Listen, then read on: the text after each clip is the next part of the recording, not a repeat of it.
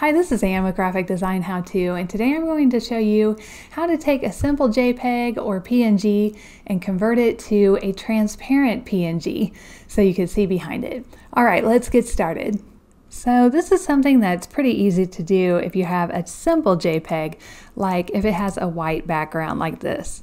I downloaded this design from Vecteezy and I'm using the JPEG, but if you have an EPS, obviously you can just take that into Illustrator and save as a PNG with transparency. So let's say you only have the JPEG or a PNG. I'm going to drag this onto my Photoshop icon. And the first thing we need to do is just unlock this background. So I'm going to click on the lock button to unlock it. And you'll notice that this design has really clean edges and a lot of contrast. So that's important because Photoshop relies on contrast when it makes selections. I'm going to get my magic wand tool by hitting W on the keyboard. That's also right over here.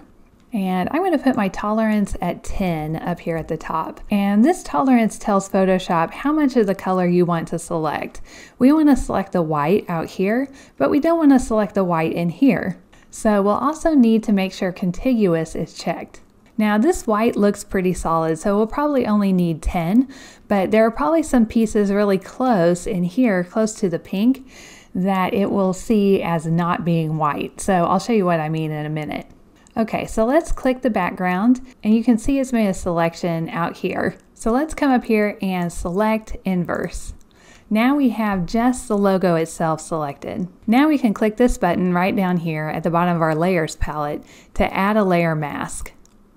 And you can see that it's added it right up here. And now our background is transparent. So if we add another color behind it, we can see how well it did. Let's go ahead and create a new layer. And then I'm just gonna drag this one underneath the, the one with the logo. I'm going to hit D on my keyboard to give me a black foreground and a white background. And then I'll hit Option Delete, that's Alt Delete on a PC, to fill that layer with the foreground color, which is black. Now this looks really nice right now, but let's zoom in really close to the edge. So now I can see I've got a few more white pixels on the edge that weren't selected with the selection. Honestly, since at full size it looks really great, I wouldn't worry about it. But to fix it, we can undo back to our selection. So I'm going to hit Command Z or Control Z on a PC to get all the way back to where I have just the logo selected. Then I'm going to come up here to Select, Modify, and Contract. So I want my selection to come in uh, maybe a pixel or so. I'm going to contract by one pixel and say OK. So it brought it in just a tiny bit. You probably won't even be able to tell. And now we can come down here and do our layer mask. We'll add the dark layer in again. And now when we zoom in, there are no white pixels. This really depends on how high quality your PNG or JPEG is. This one is super high resolution, so it's able to kind of see those areas better than if you had a low quality JPEG. Okay, now I'm gonna just delete the layer that I created, and now it's time to export it. So we can go to File, Export, and Quick Export as PNG. I think the default settings on this will automatically make it a transparent PNG. Let's go ahead and save. And now I'm going to come out here and look at how it did. If I hit my spacebar on the Mac, it shows me that my background is gone. So it's exactly what I want. Now I'm going to show you a different way to do the same thing with this logo. I'll bring in the JPEG again. First I'll unlock the background. I'll hit W on my keyboard to get to my wand over here but this time I'm not going to choose contiguous. I'm going to increase my tolerance so that I get a little more of the white just to make sure because I'm planning on deleting all the white inside here too. And then I can just click out here and this time it's grabbed all the white in the whole logo. Now I'll select inverse and I'll make my mask. So now we have a one color logo. There's no white in here at all anymore. So this means we can add some layer styles to this and it'll still look pretty good. Let's select our layer and then come down here to the FX. And now we'll do gradient overlay. And now there's a gradient applied to the logo. I'm going to click on this logo and I'm just going to come in here and choose maybe this yellow to orange one. And we'll say, okay. So that's looking pretty nice. We can uncheck that and choose color overlay. If we want to change this to white or black, really any color we want, we'll say okay. And you can play around with all these other styles by just clicking them on and off to see what they do. Just keep in mind, a lot of these are going to make it look pretty ugly. I'll say okay. And now I'm going to go ahead and export this one. Quick export as a PNG. And we'll call this one white. And I'll come out here and look at it and see how it looks. It looks pretty nice.